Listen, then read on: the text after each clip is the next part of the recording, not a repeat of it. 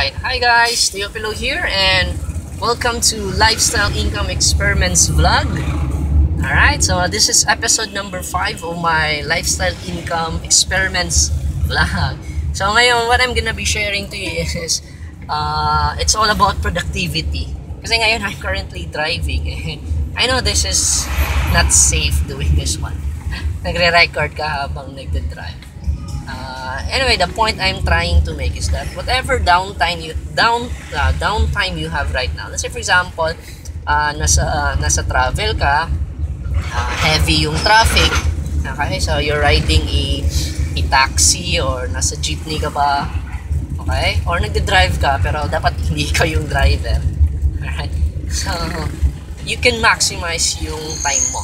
This is called productivity hacks. Uh, one of the things I also do is that I also listen to uh, mga audio seminars. Okay? Like sa YouTube, madaming namang mga motivational talks doon. Alright? So, isa sa mga isa sa mga uh, ano tawag nito? Isa sa mga mentors or gurus that I'm listening to is Grant Cardone. So, yung mga videos na sa YouTube, YouTube is tina-download ko and then and then I I convert them to MP3. So, basically when I am driving or if nasa travel ako or say for example, I am currently uh, uh, nasa plane, okay? So, parang ganon. So, I listen to those audio audio seminars.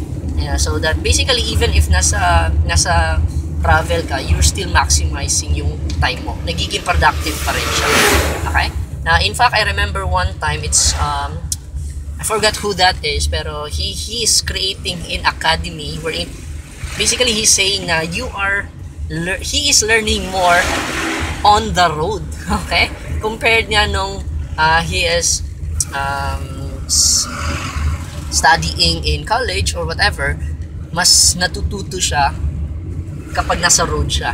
Kasi he's listening to mga motivational talks, he's listening to mga seminars, maximizing his downtime. Okay? So, anyhow, I hope you learned something in this um, in this quick uh, video. And yun, maximize your spare time and create your desired lifestyle. Alright? God bless. Bye-bye!